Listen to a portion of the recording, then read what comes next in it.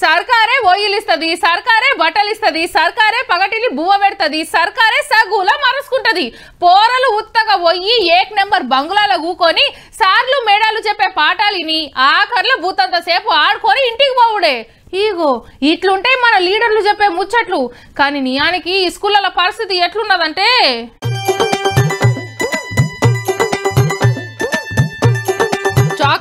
పట్టుకొని బోర్డు మీద రాయాల్సిన చేతులు పొయ్యి మీద గంట తిప్పుతున్నాయి. ముల్కు పట్టుకొని కాపీలో రాసుకోవాల్సిన చేతులు కత్తిపీట మీద కూరగాయలు కోస్తున్నాయి. పోరలు కూరగాయలు అందించుడు సార్లు బువ్వ కూరలు వండుడు. ఏం చేస్తారు మరి? భూపాలపల్లి జిల్లాల పగటిల్లి బువ్వ వండేటోళ్ళు అందరు సమ్మె చేస్తుంటే నపరో పని అందుకున్నారు అన్నట్టు. కొందరు బియ్యం కడుగుతుంటే ఇంకా కొందరు కూరగాయలు కడుగుతున్నారు.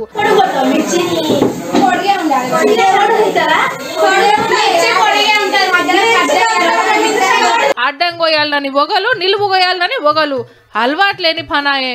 ముద్ద ముద్ద అయినట్టుంది అన్నము. జీతాలు పెంచాలే పర్మనెంట్ చేయాలి అని ఇరవై రోజుల కంచెలి సమ్మె చేస్తున్న సర్కార్ పట్టించుకోకపోయే వరకు ఇవాళ వంటలు గిడ్డలు బంద్ పెట్టిండ్రు అన్నట్టు. కానీ ఒక్కనాడంటే ఎట్లనో అట్లా తిప్పలు పడ్డరు గాని వాళ్ళు మొత్తానికే మొండికేసిండ్రా అంటే. సార్లు మేడాలు పాఠాలు బంద్ పెట్టి వంటలు చేసుకుంటా కూసోవాల్సి వస్తుందేమో జర చూసుకోర్రి సార్లు.